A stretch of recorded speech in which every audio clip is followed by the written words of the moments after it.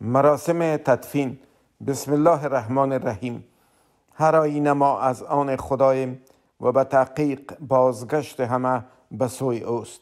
زرغونه ساله همسر ولید ساله پسر مینه ساله حنیفی دختر آسم حنیفی داماد هدایت امین ارسلا و وحید امین ارسلا پسران ماما اشرف برگی باجه حمید احمدزی پسر خیاشنه و باقی فامیل های مرحوم جنرال محمد اسماعیل بهادر و ارسلا به اطلاع دوستان و عزیزان می رسانند که جنازه مرحوم محمد صالح به روز سهشنبه نهم ماه فبروری به ساعت دوی بعد از ظهر در نشنل میموریال پارک فالس چرچ ویرجینیا به خاک سپرده می شود مراسم فاتحه برگزار نمی گردد و فامیل مذرت دوستانی را که با در نظر داشت شرایط کویت 19 در مراسم تدفین اشتراک نتوانند با جبین گشاده پذیرفته تقاضا می نماید که دوستان با اتحاف دعا باعث خوشنودی روح آن